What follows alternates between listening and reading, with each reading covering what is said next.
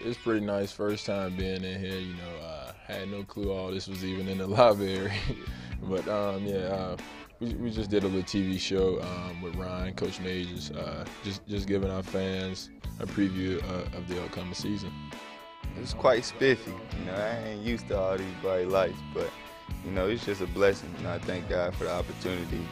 If you're wearing a 49er shirt, we, we, we putting this hard work and this time in for you.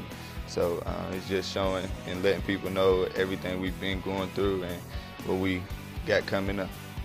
It was great to get these guys out here for the first time. You know, Braz and JB did it last year. So, uh, yeah, I'm excited. Uh, these guys have worked extremely hard. And, uh, you know, we've kind of been treading our way through the fall. And, and uh, uh, practice will start October 12th at 5 p.m., but who's counting? Every team you coach has that type of life to it. You know, it's even though you have a lot of faces back, they're older, they're different, you know, they're more mature. So uh, in that regard, that's the part for me that keeps it exciting is that you know you got a whole new clean slate with a brand new crew.